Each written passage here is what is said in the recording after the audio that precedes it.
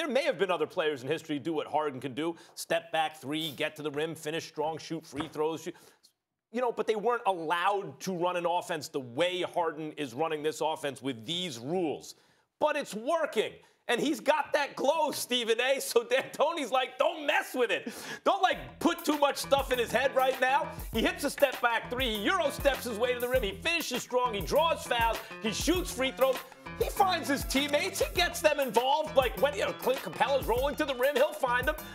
Chris Paul gets to play off ball. Chris Paul's a much better scorer than people realize. Actually, the closest thing to a modern day Isiah Thomas that we have in the game right now. So, so D'Antoni's just like, look, this is working. By the way, since they've had their full complement of players, yeah, Harden was keeping them afloat with, without Capela and without uh, CP3. Since they had their full complement of players, 17 and 4. Why would D'Antoni change anything? Isiah? Okay. here, here, here's, here's my response to, to, to both of you. Um, and, I, and I'll start with you, uh, Stephen A. All right. I, I, I agree with, with what you're saying uh, in terms of Houston, and, but here's why I agree with it. You know, there are five ways to score. You can score layups, free throws, shoot the three, post up, or mid range. Houston right now only scores in three ways. They score on the layup, free throw line, or the three point line. When you come into the playoffs, that that opposing coach is going to take something away from you. And if you're dependent on only three things, my job is to take one of them away. And once I take one of them away, and you only got two things left that you can do during the course of this series, then I'm going to beat you.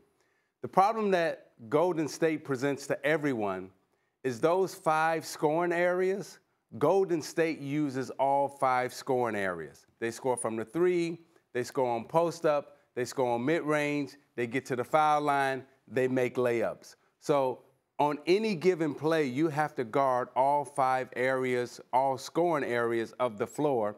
And then they hit you with pick and roll, then they hit you with splits, then they hit you with flares. So they're making you defend all possibilities that, within Isiah? one set. I want to answer that uh, because this is the perfect kind of like old school thinking versus the analytics oh, model, hell right? No. Wait, ho, ho, ho, ho. This ain't old Please. school. This basketball. Well, I'm talking about, I'm talking This about is basketball talk. No, no, no, no, no, no, okay. no. This, This is, nah, well, we'll this- see. This is what I'm talking about. So All right, Goldsberry has a book right Yeah. now out called Sprawl Ball. A book. And what he did was analyze the points you can expect to score in a given shot. And, and the two places that give you the least return are the mid range and on the block, right? Yeah. And partly that's because mid range, obviously, you're farther away from the basket, but you're only getting two points if you hit it, as opposed to the three, which nowadays is almost as easy for guys to hit as the mid range. But it's interesting to me about scoring in the post because the refs officiate it differently down there. You get very, very little return from an eight footer, like compared to compared to a, a 27 footer. Like you, you're better off shooting from 27 feet because the refs, if you blow on a guy, if you look at him the wrong way, they, they you know they blow a whistle. But down on the block, The- the- you can you can uh, hack uh, a guy and, and it doesn't get called. Max, Max, we're, we're, we're trying to get at you and save you from yourself. Here's where you lose everybody. Here's where I'm you lose Isiah. everybody. Listen to this. Here's where you lose everybody, Max. And I need everybody to put me up on a split screen so I can look at Max when I say this. Max Kellerman, it is not easy, or it is not just as easy for somebody to hit the three as it is to hit the mid range. There are plenty of dudes that hit mid range, and the further you get away from the basket, you could be as open as the sea, and you will still brick it. Trust and what I'm saying is, fact- if you have on. a if you have a team We- with those guys who hit mid ranges, said. you're going to lose. I- I'm, a, I'm addressing exactly what you just said on national television. The notion that, oh my goodness, if you can hit a mid-range shot, you can you can you can make a three. That is not true. There are plenty of dudes that can hit shots from 10 feet away. You put them beyond 19, they Shaun can't Livingston, find sure. the damn basket. Now, Isiah, am I right in saying that, sir? but that's not the point I'm making. But go no, ahead. no, no. You are you're absolutely right. And and what you're uh, what what what Max, what you speak to, you're not you're not taking into account the psychological impact that that a player has or feels when he looks at his field goal percentage in the playoffs and he's right. shooting 25% from the field. And the media is saying, "Oh, you you were shooting 35 or 40 in the regular season, but now you're only shooting 25. Can't so find that in the book. So the emotional, psychological impact, that's what we play against. That's what we compete against. We don't compete against these numbers. I come to the I come to the game and I look at you and I say, Max, you used to playing 40 minutes a night.